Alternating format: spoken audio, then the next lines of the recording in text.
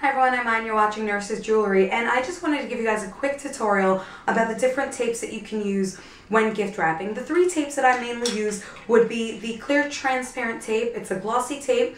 Uh, you know, you can find it in any store. You've got your regular um, milky type of tape. I call this the milky tape. I really don't know the actual name for it, um, but this is the matte tape.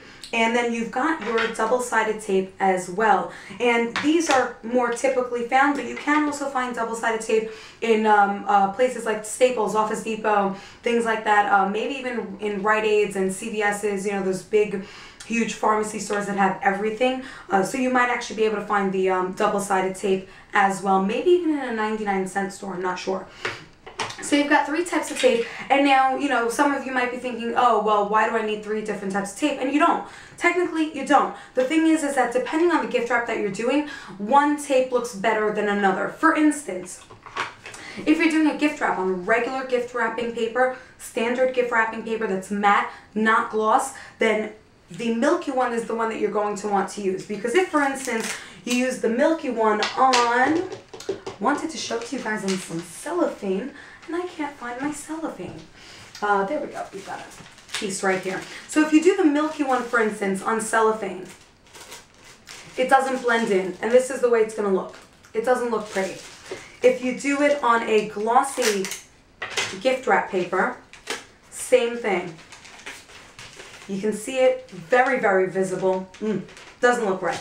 If you use the transparent one, the completely clear one, on either or, it blends in a lot better minus the pink fuzz that I have here on the side. It blends in a lot better on both the cellophane as well as the glossy tape.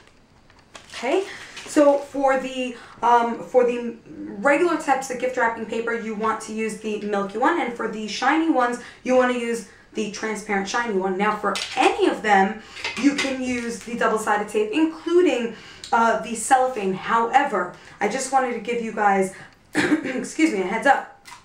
With the double-sided tape, not all double-sided tapes are the same. So some double-sided tapes are very, very clear where you really can barely see them. Um, and then some of them are, if I'm not mistaken, this is the one that wouldn't work with cellophane. But let me just test it out. This one I usually use for gift wrapping paper. Oh, actually it does look pretty clear. So there you go. It is pretty clear. So I did get the right one.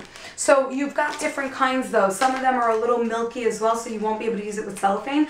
But otherwise you can use it with cellophane. You can use it with gift wrapping paper. And then basically when you do your foldovers on the gift wrapping paper in order to close the gift, you're going to be putting it right here. And I'm going to do a tutorial about that too. Anyway, so I wanted to show you guys the three different tapes that are most commonly used when it comes to gift wrapping. Hope you like it. Search Nurses Jewelry on YouTube for more videos and have a great day. 哎呀